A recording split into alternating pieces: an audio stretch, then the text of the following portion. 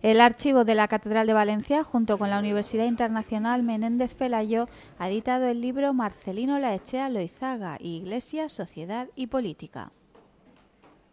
Una obra que recoge los trabajos que se presentaron en el Centro Docente y de Investigación que la Universidad tiene en Valencia durante febrero de 2017, con motivo de la celebración de un curso que llevaba el mismo título que la publicación. El libro fue presentado en el Salón Gótico del Palacio Arzobispal con la intervención del cardenal Cañizares, quien destacó la figura de Marcelino Laechea como uno de los iniciadores del catolicismo social en España. Yo por eso agradezco mucho que se haya publicado esto y que sea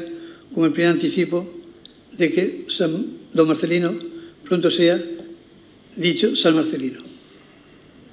Porque realmente una biografía bien hecha contribuirá mucho a que vaya mucho más rápido el, el tema de su declaración de virtudes y de su beatificación. En la presentación también participó el director de la Universidad Internacional Menéndez Pelayo de Valencia, Agustín Domingo Moratalla, quien señaló que el libro es parte de un trabajo de investigación para sacar a la luz personajes fundamentales de la historia del catolicismo español del siglo XX.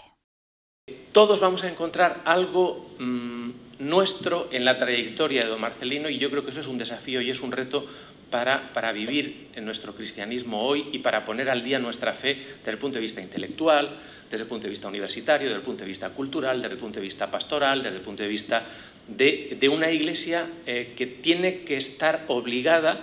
eh, a mantener la firme preocupación social que tenía entonces don Marcelino.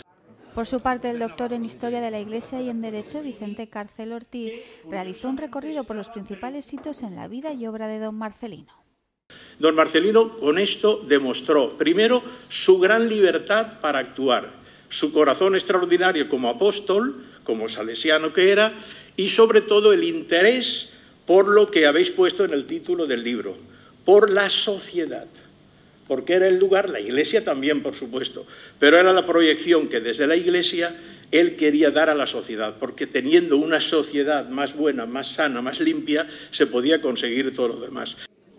El curso celebrado en Valencia en 2017 contó con el apoyo de la diócesis, la familia salesiana y la Fundación Cultura Ángel Herrera y congregó a investigadores, profesores, estudiantes y ciudadanos interesados en conocer el legado de Monseñor Olaechea.